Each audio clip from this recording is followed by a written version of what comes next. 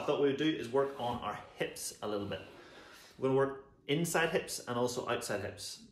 A lot of back pain can come from that area, uh, especially if we're sitting down a lot, we can get some sciatic pain and that sort of thing. So hopefully this will help free things up. What it'll also do, added bonus, is improve our squat ability and uh, also help relieve stress. A lot of stress is carried through the hips and if we uh, help release that, it can help release stress in the body and sleep better. So, lots of wins today. Excellent, Joe is back. Cool beans. So, No, you're all right. What I thought we'd start with is a couple of movements, kind of like a warm up, and then we'll get into our stretches. So, first movement. You've done this in the gym before. This is our kneeling circle. So, we're going to be in a kneeling position. From there, we'll send one leg out. We'll rotate it around like it's doing a half circle and we'll do about five-ish reps on one side. We'll do five reps on the other. Kind of the front as well in case you're interested. We're trying to keep the body in between the hands rather than letting it scoop away to one side.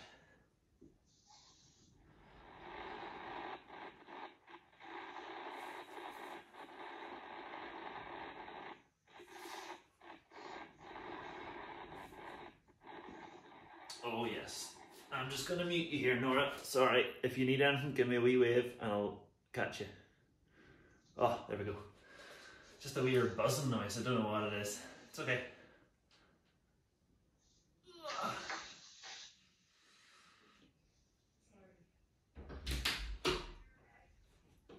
Would Monday morning be okay? It's not ideal, but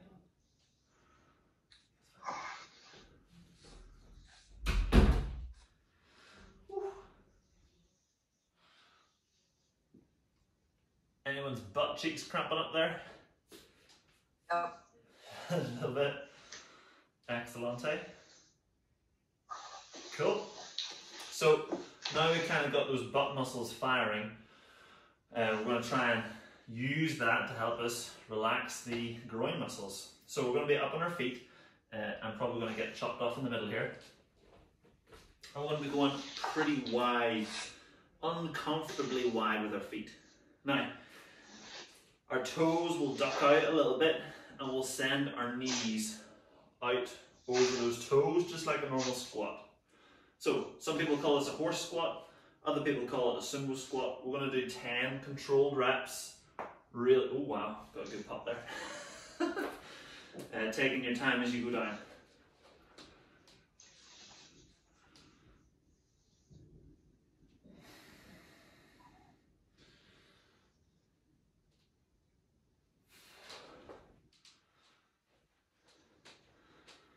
Find your range of motion here might be limited, that's totally okay.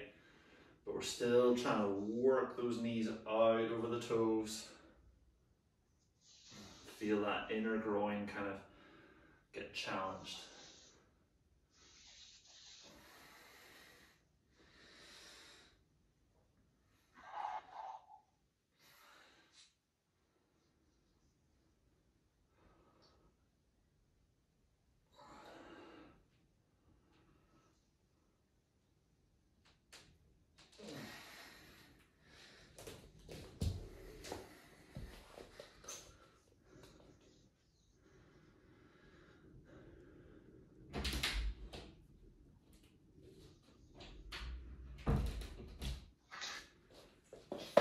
Fantastic.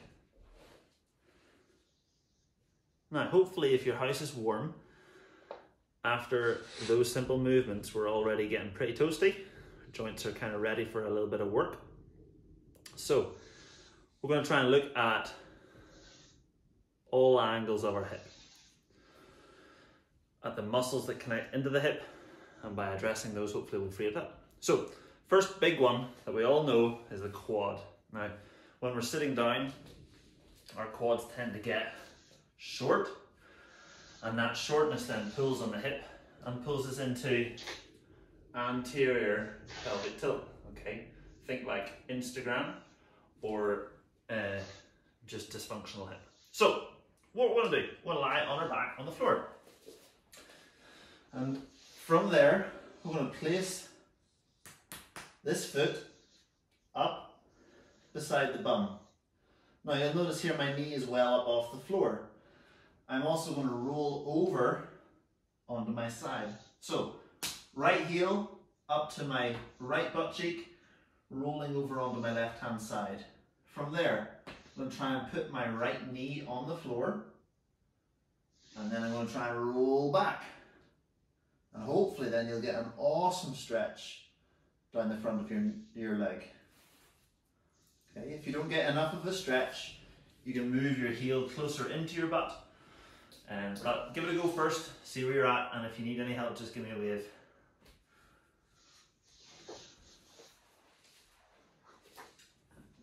I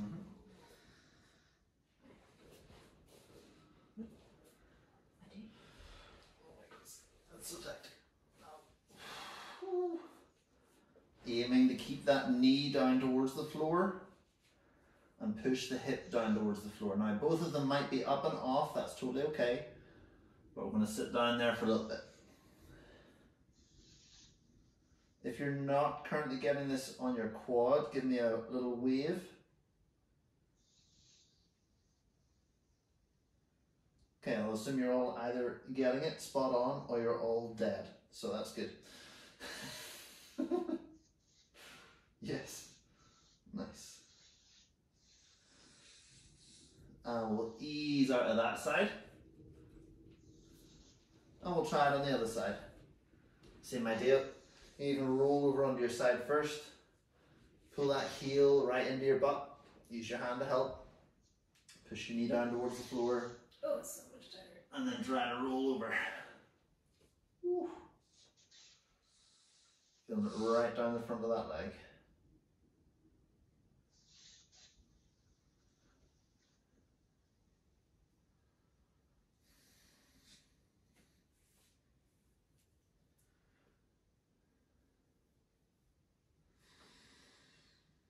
Focusing in on your breath, trying to let your hip open up let that quad get a deep burn down the front.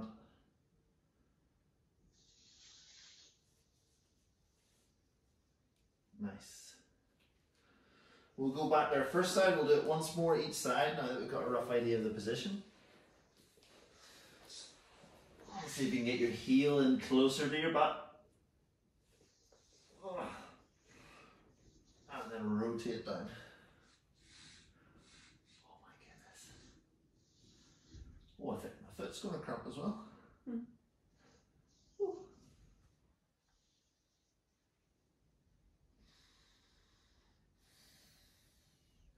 It's natural for your body to tense up when you're stretching, but what we're going to try and do is as we breathe out, relax those muscles that feel tensed. See if you can ease them, teach them how to relax and lengthen. Them.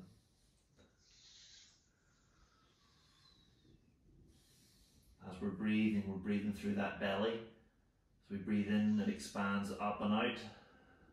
As we breathe out, it falls back down again. As we breathe in, expands up and out. As we breathe out, it falls back in.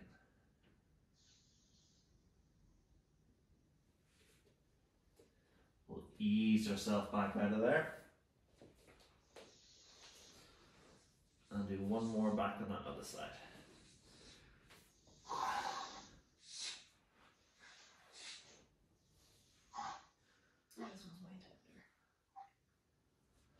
Most people will have one side tighter than the other.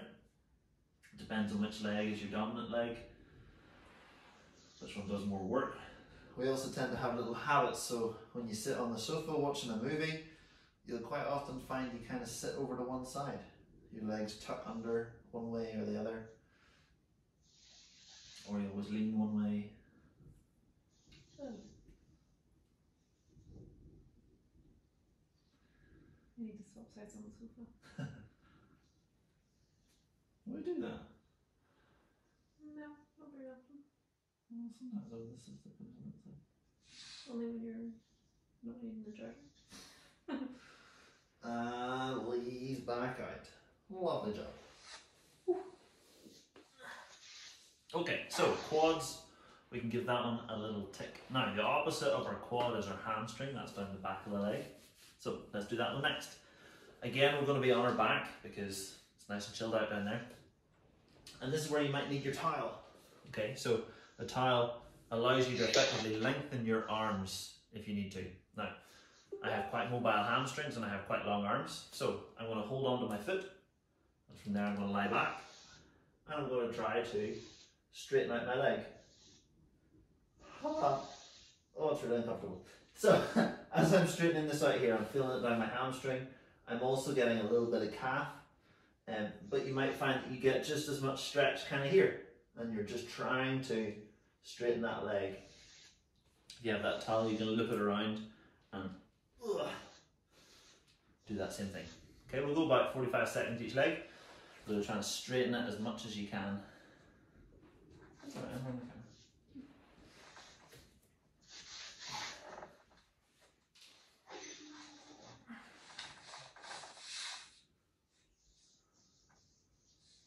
What if you don't want to straighten it because you know it's going to be sore? yeah, if it just fills you with fear trying to straighten your leg, just ease yourself into it. Do like five seconds and then back out, and then five seconds and back out. Trick yourself into going that little bit further. Oh, not so bad. it's, it's hard to relax. It's hard to get your breath under control. But you can do it.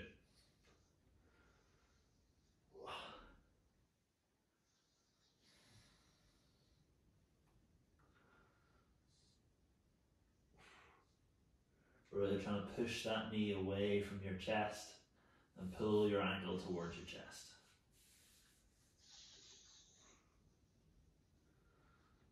Nice. Uh, we'll swap back over. Other side. Oh, I should have we hip pop there. Ugh. Oh dear. I think this is my tighter side.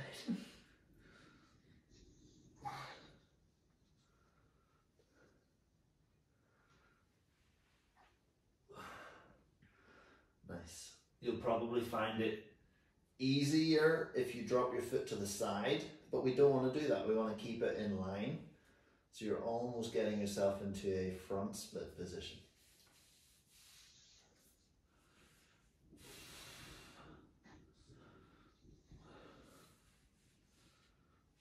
Like this.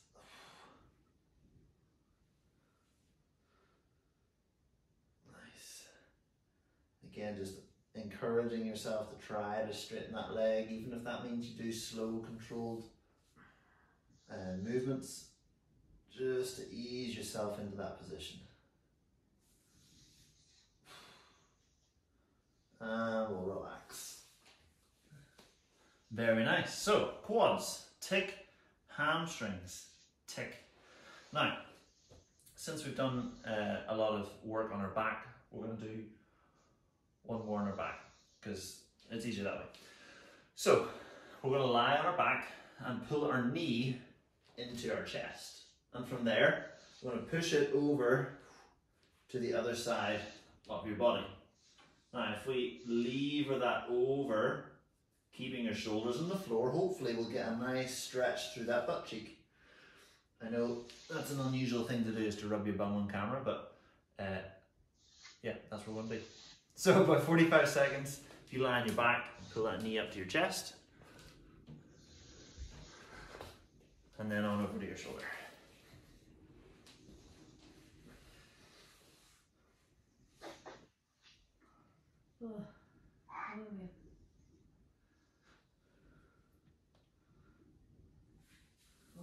And don't be afraid to play with the position a little bit. See what happens if you lower your knee down towards your hip. And what happens if you pull it up higher to your shoulder. Or what happens if you pull it further towards the floor. Or more towards the center of the body. Once you find the most disgusting part of it, then go there. Hold that for a little bit. Once you find that position, then try to push the hip down towards the floor. So you're trying to push your hip away from your knee.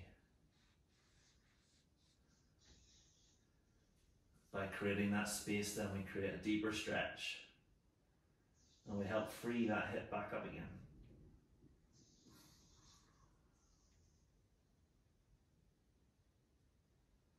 And we'll ease back out of that.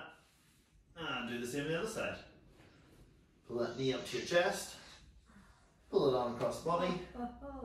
Keeping your shoulders down. Oh. Same thing here, we're just going to explore that hip a little bit. My word, this is tight. oh dear. Ugh.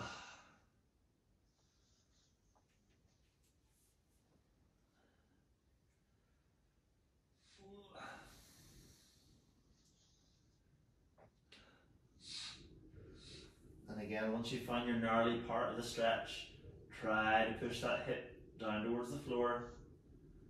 Feel that hip open up.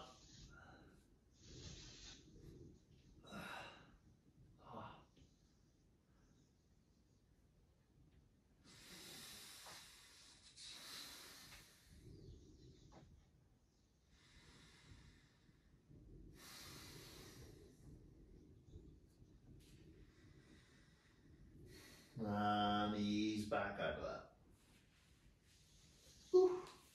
Lovely. Now, final one. We're sticking with a theme. It's going to be on our back. What? we've done our quads, we've done our hamstrings, we've even done our glutes. So all that's left is our groin. Mm, Technically, there's still our obliques, but anyway, groin. Going to line our back. Our feet are together, like glue. We're going to set the feet on the floor, just like we were doing a sit up in the gym.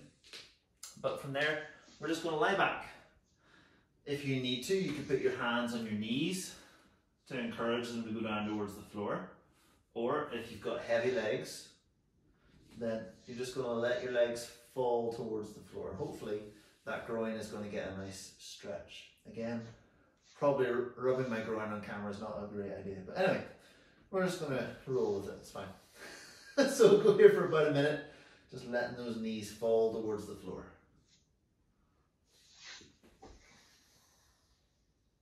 You put a stone.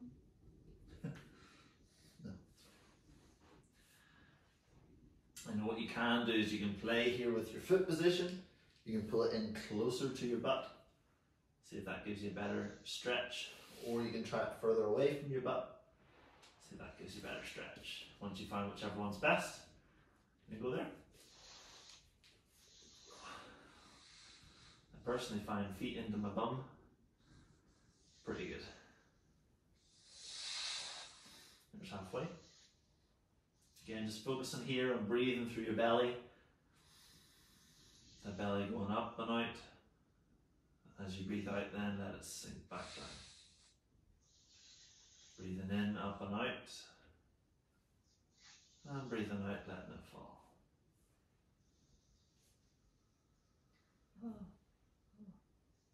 Nice, trying to pull those knees that little bit wider for the last five seconds. Three, two, one, and relax. Lovely.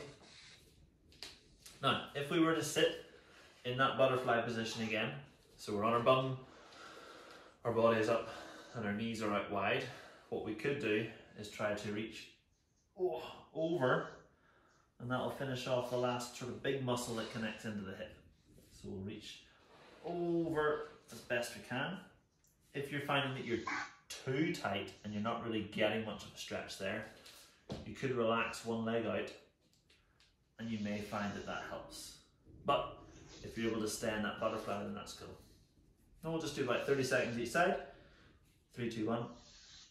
Off we go.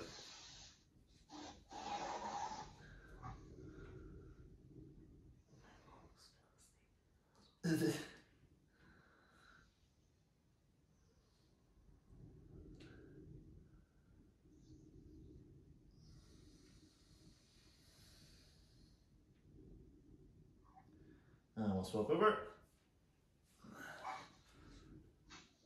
even letting that head fall over to the side. Remember, your head is connected to your neck. Your neck is a part of your spine, so if we're curling our spine, our neck should be curled as well. Same process in our deadlifts. If we're doing a deadlift, we're trying to have a nice flat back, so our neck should be flat as well.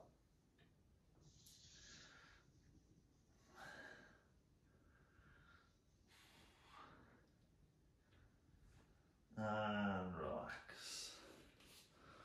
Cool. Cool beans. So, we have tackled all of the major muscle groups that are involved there in our uh, hip area. So, what we'll do, we'll just do one final relaxing position, hopefully, going to set us up well for bedtime. And uh, it might also relieve a little bit of pressure that builds up through the day sometimes, i.e., it's a good position to fart in. So, going to lie on our back, going to grab our feet, try to flatten out our back on the floor, and we're going to sit in our happy baby position. Again, I'm talking to you through my bum here, probably not the best. Maybe if I went this way, I'd be a little bit better.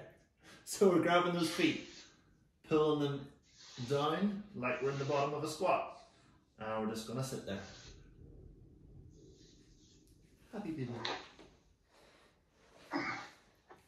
I know this is Andy's favourite stretch position.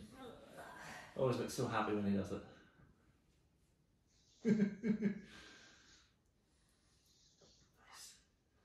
As you allow that back to flatten against the floor, hopefully we get that big bit of pressure kind of in the groin.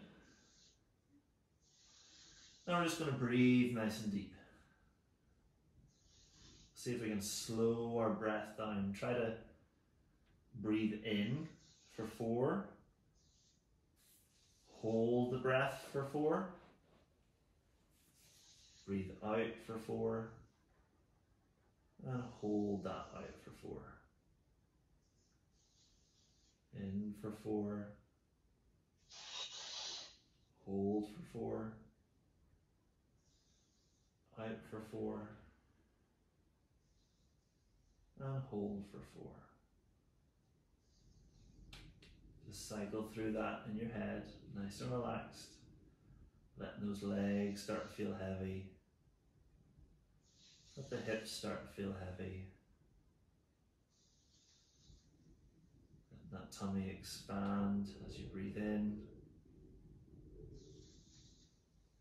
And fall as you breathe out.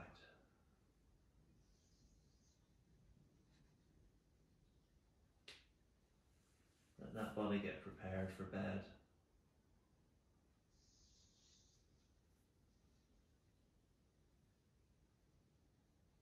Uh, we'll ease back out.